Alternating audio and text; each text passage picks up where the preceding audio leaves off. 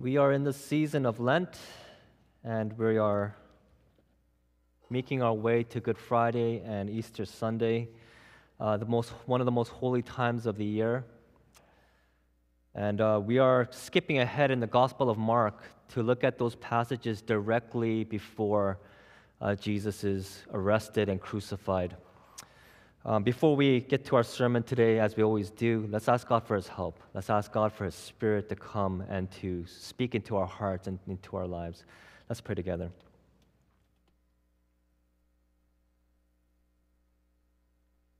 God, thank you for your invitation to us. That even as we are weak, even as we are prone to wander and prone to leave you, you have invited us to come. Thank you that in response to our weakness and sin, you have not hidden your word. You have not, um, your word has not disappeared like in the time of Jehoshaphat where it had to be refound, or Josiah had to be refound. Thank you that you are not bringing to us a famine of your word that we can go sea to sea and not find your word, that we would look north, south, east, west for your word and just be hungering, thirsting. Thank you that you've made your word so readily available to us. God, would you make this word come alive? Would you speak the living word that can nourish our soul this morning? And to, and to respond rightly to you. God, would we be able to hear your divine call to us? As we are hearing the preaching of your word. So we ask for your Spirit's help, and we ask for you to empower um, the words that you want to speak to every person here. We pray this in Jesus' name. Amen. Jesus has just had his Passover meal with his disciples, and at that Passover meal, he has revealed something pretty shocking. He revealed that one of the disciples, one of the 12, right, one of his closest disciples is going to betray him. Betrayal, when you, that kind of betrayal is always shocking when it's someone close, right? That's that you don't expect it from someone that is that close to you. But as Jesus takes his disciples out to the Mount of Olives and he goes to the Garden of Gethsemane, he reveals even more shocking predictions. Jesus says the disciples will all abandon him, not just one, all the disciples will abandon him in fulfillment of the prophecy of Zechariah 13:7, where God speaks of striking the shepherd and the sheep being scattered. And as I've just mentioned, this completely changes the conversation because now it's not just, okay, one of the 12 is gonna betray Jesus, it's all of the disciples are gonna fall away. Completely changes the conversation. And this brings actually a strong reaction by one of the disciples in particular. Actually, all of them you'll see in this beginning of this passage, but really one person really who speaks, usually speaks on behalf of the 12, stands up. Peter, he says, Even if they all fall away, I will not. And Peter is basically appealing to his personal strength, his personal loyalty. He's saying, You know what? I have, okay, I, I don't know about all these other guys. I don't know about these other 11 disciples, but I have exceptional loyalty and I have exceptional character. They may fall away, but I'm not. I'll be there at the end. And Jesus responds by saying, Truly I tell you, this very night before the rooster crows twice, you will deny me three times. See, it's disturbing enough that Jesus brings up the possibility that all 12 are going to fall away, are going to stumble. But for Peter, Jesus has presented a scenario here that is even more disturbing. Jesus begins by saying, truly. The word here is, is actually the Hebrew word amen, written in Greek, right? A word that expresses what does amen mean? It's not just something that we say at the end of a prayer. Amen means solemn agreement or solemn confirmation or affirmation. That's what amen means. That's why, that's why we say it at the end of a prayer, because we're saying solemnly, we agree with what's been prayed. In other words, When Jesus begins by saying, truly, amen, or sometimes you'll see in the scriptures Jesus begin a sentence by saying, truly, truly. That's the words amen, amen. And then he makes a statement. Jesus is speaking, when he says amen, amen with a sentence, he's speaking with divine certainty. This is not just I think or I guess. This is no, this is going to happen. Secondly, what Jesus is telling Peter is imminent. It's not going to happen in the distant future. It's, he's, he says, this very night, this very night it's going to happen. And then, third, it's not that just Peter will deny Jesus once, but Peter will deny Jesus three times. And that number three is significant in Scripture. You'll see that number three come up again and again in Scripture. It's kind of like the number seven in Scripture. That's like it's about completeness, about kind of uh, overlaps with the idea of like something complete. Because what that basically means is that this is no mistake. This is no slip up, right? Oh, I just happened to say the wrong thing. When you, uh, when you deny Jesus three times, that's no mistake. That's who you are, right?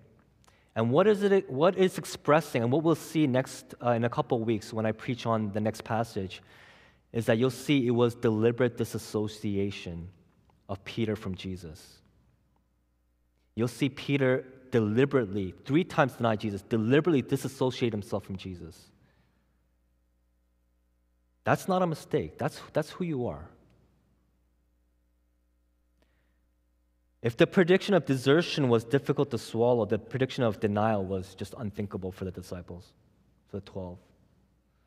So uh, we see a very strong, once again, a very strong reaction from Peter and the disciples who are adamant they will, they will die with Jesus. They will not deny him. Let's pretend for a moment that we didn't read the rest of the passage. We have good reason to believe the 12 disciples when they are adamant and saying, We will die with you, we will not deny you. Think about it. The last three years of their lives, what have they witnessed and experienced?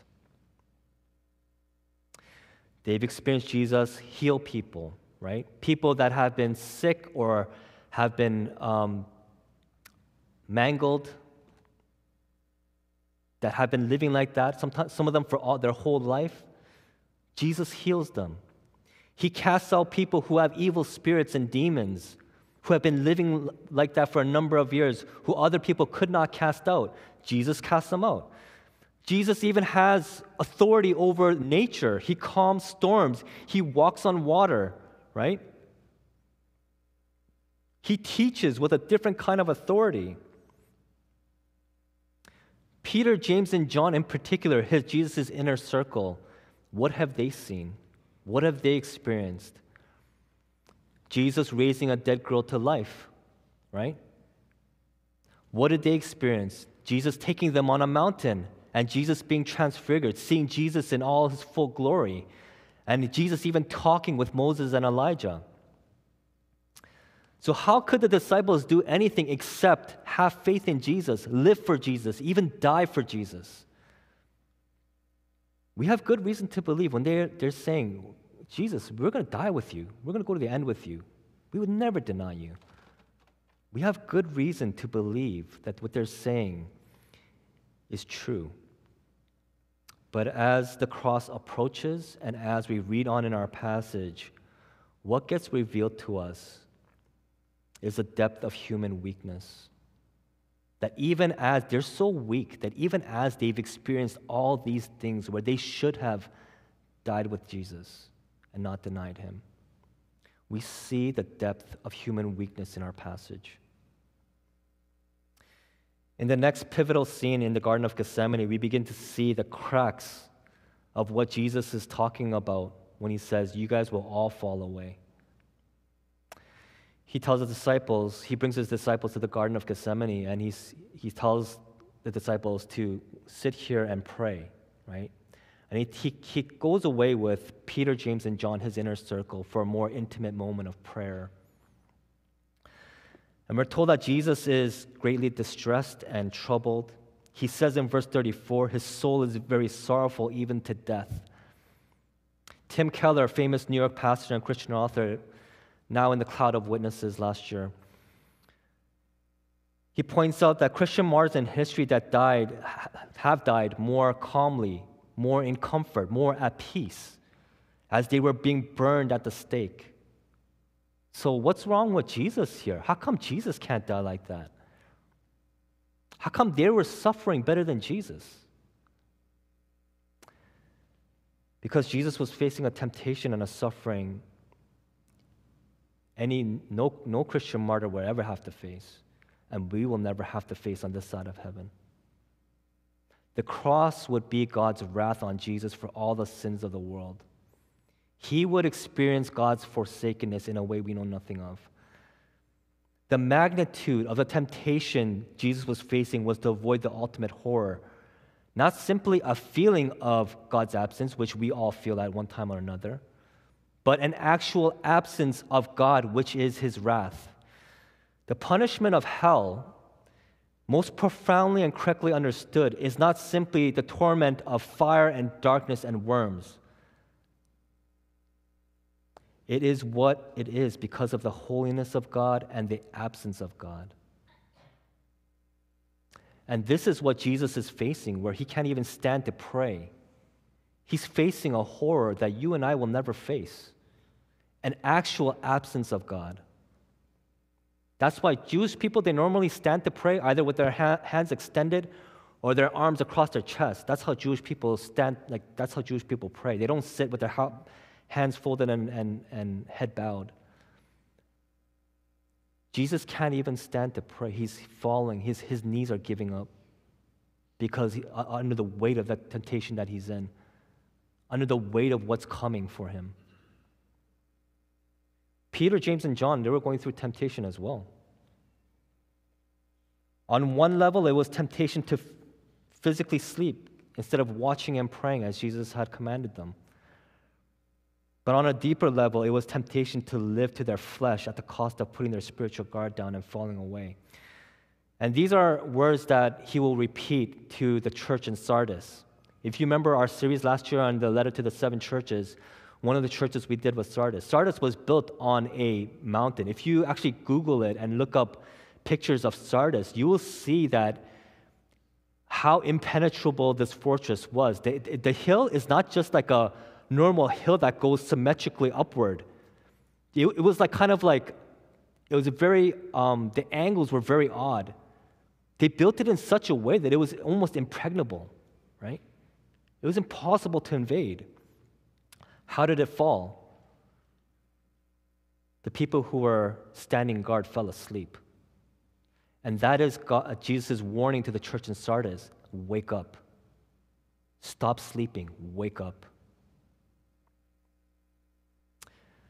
Be spiritually alert. And that is what Jesus is basically telling his disciples is I've already told you what's coming for you. Wake up. Be spiritually alert. They're facing the basic temptation of the flesh to sleep and not be spiritually alert. And we're already seeing cracks. We're already seeing the signs of them falling away. They are not going through the temptation that Jesus is going through. It seems like a very basic temptation. It's just sleep, physical sleep. The word flesh there is not like, uh, the word flesh there literally means, it's talking about like physical. The temptation was very basic, just physical sleep. And yet, once again, we're seeing the cracks. They are falling away. We see the depth of human weakness. And this leads, of course, to the arrest of Jesus, where Judas comes to betray him with the Sanhedrin. Sanhedrin was the highest uh, religious leaders. They were the ruling religious leaders.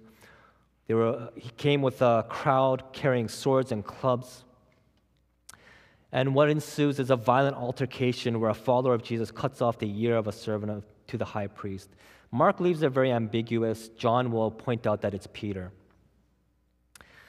But before the situation gets out of hand and there's like more violence, Jesus diffuses the situation. He diffuses it by basically protesting that they've come, these religious have come to arrest him like he's a violent criminal. Every day, Jesus was in the courtyard. Every day, Jesus was in the temple courts. And he, would have, he wouldn't have resisted arrest, right? And he ends with these key words but let the scriptures be fulfilled. Jesus is saying this is all happening to fulfill scripture. Which scripture? The one he began with. Zechariah 13:7, where God will strike the shepherd and the, sheep will scatter. Because it's literally fulfilled in the next sentence. That's exactly what happens. The disciples all left him and fled. We see the weakness and failure of the disciples without exception. Exactly as Jesus says, all 12 leave. And just to put an exclamation point, we didn't read this part, but verse 51 says, A young man followed him with nothing but a linen cloth about his body, and they seized him, but he left the linen cloth and ran away naked. Kind of sounds like a comical scene to us today, right? It only appears in the Gospel of Mark. But this is an exclamation point on, the, on human weakness, on the weakness of the disciples.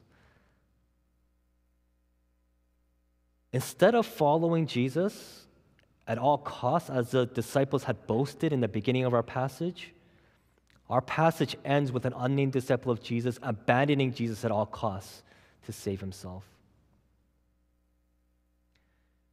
If anyone understood, if anyone was going to die with Jesus, it should have been the disciples.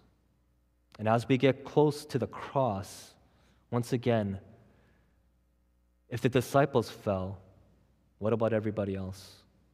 We, we're seeing the depth of human weakness. Martin Scorsese, um, great director, you know, probably one of the greatest directors uh, living right now. He made a movie called Silence, and it's based on a novel by a Japanese Christian named Shusaku Endo. And I saw, like, when it was released, I was really interested because I had always heard about the, the Jesuit missionaries to Japan who were martyred, who gave their lives to bring the gospel to Japan. And so I was very interested. I was very excited. Also, it's, it's a movie by Martin Scorsese, so I'm like, this, this is going to be good. But I, I saw the movie in theaters. I was not prepared at all. It's not what I thought it was. It, I was not prepared at all what this movie was about. I thought it was a celebration of missionaries. It's not. It wasn't. The movie is about two Jesuit priests from um, Portuguese priests who are sent to Japan in 1639 to find another to find another Jesuit priest who's rumored to have committed apostasy. Apostasy is when you renounce the faith. And what happens is they go to Japan and they end up meeting the underground church in Japan who are hiding because they are hiding from persecution and torture and death.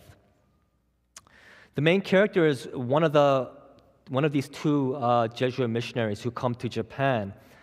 And by the end of the movie, he has to make a difficult decision to either step on, so in Japan, that this is historically true, the way that they would torture Christians would be like, and make them renounce is that you, there would be an image of Jesus. And there's a specific Japanese word for it, which I'm not going to say because I can't pronounce it. But there's an image of Jesus, and you're, you're to step, if you're going to, they'll either tell you, you step on that image of Jesus and renounce Jesus, or we're going to torture you. We might, even, we might kill you and, and kill you in, in horrible ways, right? There Japanese, the their Japanese people were like, okay, you like crosses? We'll put you up on a cross. They will put people up on crosses near the water, and then when the tide comes up, they drowned. So not only are you hanging on the cross and ha- having trouble breathing, but when the tide comes in, you drown too. So by the end of the movie, this one Jesuit piece, the main character, has to make a decision like, either I step on the image of Jesus and renounce Jesus, and, and they promise to give him a life of ease in Japan and save the other Christians, or you don't step on that. We're going to torture you. We're going to torture, probably torture the other Christians first, just to torture you more, and then kill you too. And what he does is he steps on that image of Jesus, he renounces the faith, and he saves himself and he saves the Christian community. In that movie, also, there is a guide When they get to Japan, there is a guide, a Japanese guide. He's a Japanese fisherman. And they get to know him. They ask, they ask him, Why are you doing this? It's dangerous to be a guide. And he says, um, There was one time where I stepped on the image of Jesus and I renounced my faith, but um, I saved myself. But what happened was my family didn't. So my family died while I was too afraid to die for the faith. And I saved myself when my, where my family died. So I want redemption. But what we see in this character, this Japanese fisherman, is that in the movie, what happens is every time there is a moment where he has to save himself at the cost of other people, he saves his own skin. And it happens again and again in the movie. And it's like this character is such a slimy character. He's a disgusting character. He disgusts us by his weakness, his inconsistency, his selfishness, his fear and lack of courage. And as I was in the theater, like watching this, I felt like this movie will make you feel so unsettled. It will make you feel so uncomfortable. It's an uncomfortable movie to watch overall. But I also felt very conflicted because on the one hand, I'm like, these characters are so despicable, especially the Japanese fisherman I found was like, this is everything that we don't like about people in our society. But I was so conflicted because I also saw aspects of those characters in me, and that's the whole point of the movie. I've never had to publicly renounce my faith in Jesus or face torture and death. But I've been in situations where I didn't want people to know I was Christian. I've never had to repeatedly deny Jesus or save my own skin. But I have committed the same sins over and over again and heard the rooster crow. I was seeing like I was seeing aspects of them and myself. It's really uncomfortable. And in these two characters, basically, Uh, one is a Judas figure, the main character is like a Judas figure, and the Japanese fisherman is a Peter figure. The movie Silence is making a powerful statement to both Christians and unbelievers too. Unbelievers too. That we are all Peters and Judases. Now, obviously, I don't agree with everything about the movie, but on this point, I believe that th- this is a declaration of Romans 2:10 None are righteous, no, not one. No one understands, no one seeks for God. For all have turned aside, together they have become worthless. No one does good, not even one. I believe that on that point, I can agree with that. That that is in alignment with Scripture says about us.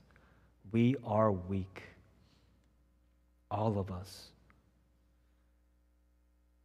Now, I believe much of Scripture is about God's divine call and how we respond. Thank you, Dr. Kessler, who is also in the cloud of witnesses who passed away last year. Scripture is about God's divine call and how we respond. Now, we can respond by denying this and saying, No, I'm not weak. I'm strong. I'm good. I'm a decent person. I would die with Jesus and never betray him. I believe this will lead to what the disciples experienced being fragmented, saying one thing, living another. In simple terms, we call this living a lie. And this road leads to presenting ourselves as strong, presenting ourselves as good, having everything figured out, always being right, which ultimately leads to being crushed under the weight of always having to perform and having an expectation put on us where like no one could live up to. In other words, we're setting ourselves up for failure. So this is not it. This is not it. We can also respond by accepting our weakness and making peace with it. We're weak. So living with weakness and sin is fine. If weakness and sin is fine, then this whole Bible, you can just throw it away. It makes no sense. If living with sin and weakness is fine, then why did Jesus go to the cross? There's no reason why Jesus needs to go to the cross if, if weakness and sin is okay. Someone might say, but Pastor Ken, like this is this is post cross and resurrection, right? We have grace now, so weakness and sin is okay. Paul recognizes that, yes, post cross and resurrection, there is grace. But notice what he writes in Romans 6 1 and 2. What shall we say then? Are we to continue in sin that grace may abound?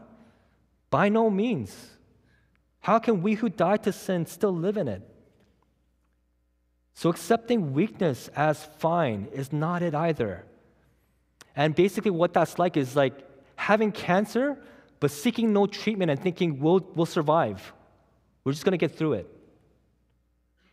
Only I think like that. You guys should not think like that, right? So we find ourselves now in a catch 22. We find ourselves in a catch 22. Whether we deny our weakness or whether we accept our weakness, we're condemned. And I believe that's where many of us live. That's where many of us are today. We're in this catch 22. Maybe some of us, I've heard it, like some of us here, we've, we just admitted it. We just admit it. Maybe for others of us, it's an elephant in the room that we don't want to admit. But we're frustrated with the Christian life because we're living in this catch 22. If I admit my weak, weakness, makes me depressed. And I can't deny my weakness because that brings other problems. Who wants to live a lie? Who, who wants to live their whole life a lie? Who wants to live with all those other problems that come with denying our weakness? We feel stuck. We feel confused. We feel frustrated. There is a third way we can respond, which I believe is the only way Scripture directs us to respond. Respond to our weakness and sin and get, gets us out of this catch 22 we look to Christ who goes to the cross. In the Garden of Gethsemane, even though Jesus was tempted to run away and avoid the cross, he even asked Jesus, he even asked God, Can you let this hour just pass from me? Is there any way that this can just pass? Like we can, is there any way we can get this done without me going to the cross? But at the end, he prayed, Not what I will, but what you will. What is God's will? to have a people for himself. Not a people who have no choice, but a people who will choose God, who will be for God, who reflect God. A people who will be a holy nation, a people for the praise of God's glory. That's God's will. If you read cover to cover, if you read about salvation history, that is what God desires. Going to the cross was God's pursuit of us when we were weak for that purpose, to that end. Jesus said, It's not the healthy who need a doctor, but the sick. I have not come to call the righteous, but sinners to repentance. The cross, it was God's pursuit of us in our weakness to make us the people of God. In the last couple of weeks, um, I was just like so many conversations, I was reminded of God's pursuit of people. God's pursuit of people. I was reminded of my own journey. What if God never took me through a two and a half year sabbatical? Where, like, it was a, the toughest time of my life, but I also grew the most. What if that never happened? Right? What if God never pursued me and that never happened? I would still think I knew what the Christian life was all about. I would still think I knew what ministry was all about when the reality was I didn't know. I didn't get it. And not to say that I've figured everything out today. You guys have to still suffer parts of me that are not have not matured. There's still parts of me that I, know, I have to grow so much more. But I don't even want to think about where I would be today, what kind of person I would be today, how lost I would be today if God hadn't pursued me those two and a half years. God put me in a two and a half year sabbatical of suffering and wilderness to pursue me. There were times where, yeah, there were times where I felt betrayed. There were times where I felt abandoned. There were times where I, I couldn't see a future ahead of me. I didn't know what was going to happen. I was definitely not happy with my life. But I believe there was one thing that I did right is I was willing to have my heart open to Jesus, to go through all these things with Jesus. And not just go through these things apart from Jesus. No matter how, how much I felt like, what is going on here? Why am I in this wilderness? I, the one thing I did right was make sure that I didn't cut God out of the process. And I want to encourage you today, and I think that's the first encouragement that we need and we have to see in Scripture is that don't think that God pursues certain people and not others. Look at the cross. Did Jesus only die for certain people? Jesus, the scriptures say Jesus died for the world. That's not secret code for he only died for the few. When, and when scripture says Jesus died for the world, I take that wholesale as Jesus died for the world. He died for everyone. He's pursuing everyone. He's pursuing all of us. And that's the first thing I want to encourage you. And I think we need to hear that truth today that it may not seem like it, because in my wilderness, it didn't seem like God was pursuing me. God is pursuing all of us. I want to encourage you that take confidence in that, that God is pursuing you. I don't know what you're going through today, but would you open up your heart to this God who is pursuing you? I believe that makes all the difference. Yes, uh, you know, sometimes you don't feel it.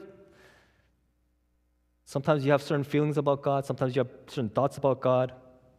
Sometimes you're angry at God. Would you go through that with God? Don't just cut God out of the picture. Sometimes you're wrestling with doubts. That's, that's fine. Well, it's not fine in one sense, but bring it before the Lord. You think that? Do you think people didn't wrestle with doubt in Scripture? Have you, have you read these people? Have you read the Psalms? Bring those doubts to God. Don't cut God out wrestle with Him and know that He's pursuing each one of you. That's the first thing that we have to know as we are dealing with weakness. If you want to get out of this catch 22, all these things that we're wrestling with have to be done with God. Second, secondly, looking to Christ and the cross means we depend on His strength.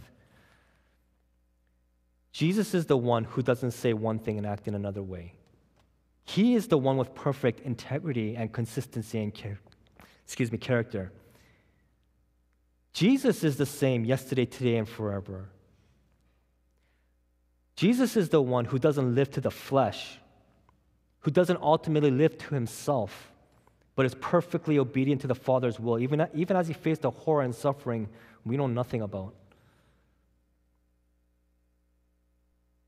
When Jesus died and resurrected to, to new life, we are told in Romans 6 once again that we have been raised to newness of life so we no longer be enslaved to sin. We can't get out of this catch 22 unless we get to Jesus. And unless we make contact with His strength and His new life. And sometimes, you know what, it will come naturally like a hand in glove there, there was times in my life that it, was, it happened so easily. It came so easily. Hearing the voice of God was so easy. But there are other times where it's not going to feel good. It's not going to be seem natural to us. It's going to seem like nothing's happening. There are times where we have to grit our teeth and fight for it. But we have to make contact with Jesus. There's no other way to get out of this catch 22. I don't know some of you here might say, I am seeking Jesus. Why aren't things changing? Let's, let's look back to Scripture. Let's look at the lives of the disciples. How long did it take them to go from abandoning Jesus, denying Jesus, to dying for Jesus? It took years. It took years. Just because we have been seeing, seeking Jesus and we don't see the change right away doesn't mean it's not happening. When I think about my own testimony, how, how long did that transformation take for me? Two and a half years. Two and a half years. For Jesus to address things about me personally, for Jesus to address things about me as a pastor, to, for Jesus to address things about me in terms of ministry. Two and a half years. I've had friends talk to me about it took them five years, six years, decades. Please don't fall into this have to have it now culture that we're living in. Can Jesus overnight transform you? Yeah, he can. Sure, he can. Who, who am I to tell Jesus what he can and cannot do? But many times, and especially if you look at the witness of Scripture, the transformation happens over years, over time. So I want to encourage you that if you're like, I, am seeking Jesus, but I'm not changing. I am seeking Jesus, but situations are not changing. Just because we don't see it doesn't mean it's not happening. And sometimes it has to happen over years. And sometimes it has to happen in a trial. You know why trial is so important? Because it makes our faith solid. There's a difference between someone who has gone through something, gone through suffering, and come out on the other side in terms of their testimony of Jesus. There's a substance to it that you can't match with someone that has gone through nothing or that is in denial about suffering. Trial is so important. Have you, have you ever been thankful for the trials that God puts you through? Like I said, I don't even want to imagine. Do I like trial? No, I, I try to avoid it, to be honest, but where would I be if not for the trial? And God pursuing me through the trial to get me to real places in my faith. Just because it's not happening right now, just because we're not seeing the progress right now, does not mean it's not happening. Jesus is pursuing you. Let's prepare our communion.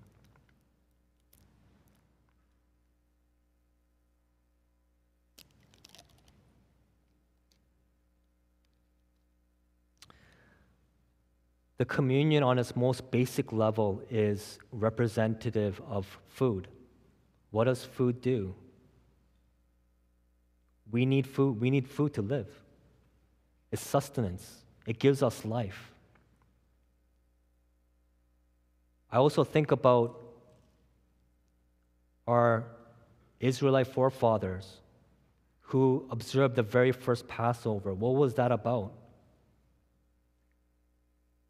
They were taking the Passover meal because they knew on the other side of that meal, they were about to experience salvation. They were about to experience freedom from the bondage of Egypt. That's what we receive in Jesus Christ. And this is not just symbolic, you are receiving Jesus in this communion. We've received the Word of God read, We've received the Word of God preached, now receive the Word of God enacted, the gospel enacted, through receiving Jesus through this communion. On the night Jesus was betrayed, he took the bread and he broke it. And he said, This is my body broken for you. Do this in remembrance of me. Let's partake of the body together.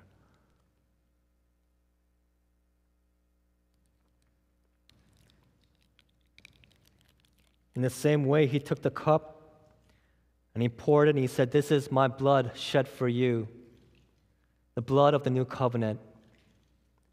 Please bring to Jesus your weakness.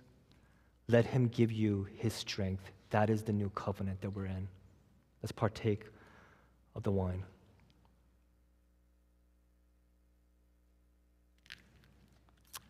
Let's pray together.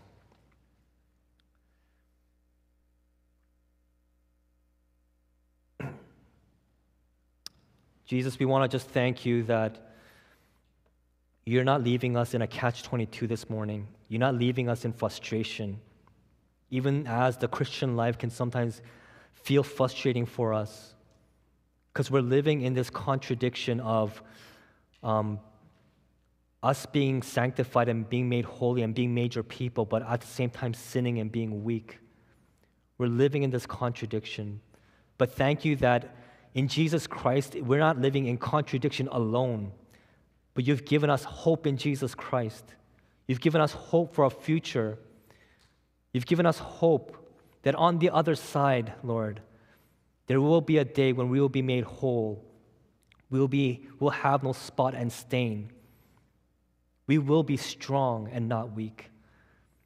And so, God, we thank you for the blood and the body of Jesus Christ. We thank you for the presence of Christ in our lives. Thank you that you have been pursuing us and that you will never stop. God, I pray for each person here that we would not close our hearts to Jesus because there's something that we don't understand or there's something that we are feeling today or there's, there's anger or there's bitterness or there's we're not getting what we want or getting what we feel like we need that we would not shut you out, Lord. Help our hearts to be open to you as you are pursuing each one of us. Help us to be patient, Lord, and live with hope. That yes, some things may take years and not simply just moments, but years. Help us renew the faith that you are pursuing us. Renew the faith that um, wherever we are today, however far we think we are, however weak we think we are, you are pursuing us, and that makes all the difference. If we will just open ourselves up to that. Thank you, Jesus, for giving yourself up to us, for going to the cross. Help us to